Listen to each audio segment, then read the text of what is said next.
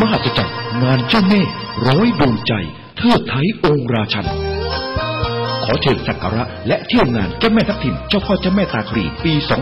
2555 ณ ศาลเจ้าแม่ทับทิมตาครีวันที่ 10 ถึง 15 มกราคม 2555 วันที่ 10 มกราคม ชม พิธีเปิดงาน ร้อยดวงใจเทิดไทยองค์ราชันและชมการแสดงของคณะกายกรรมระดับโลกจากสาธารณรัฐประชาชนจีน วันที่ 11 มกราคม ชมการแสดงโชว์มังกรทองพบพญานาค สิงโตไตเสาดอกเหมย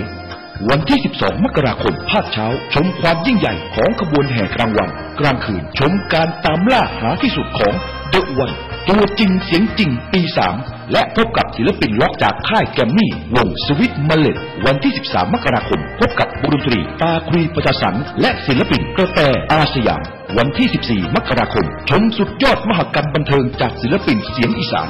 นกน้อยอุไรพร เต็มเวทีกว่า 500 ชีวิต วันที่ 15 มกราคม ปิดท้ายงานเจ้าแม่ ด้วยความยิ่งใหญ่ระดับประเทศ ชมการแข่งขันเชิดสิงโต ระดับแชมป์นานาชาติชิงถ้วยพระราชทาน สมเด็จพระเทพรัตนราชสุดา สยามบรมราชกุมารี ทุกวันขอเชิญ สักการะเจ้าแม่ทับทิมและเทพเจ้าทุกพระองค์ที่บริเวณงาน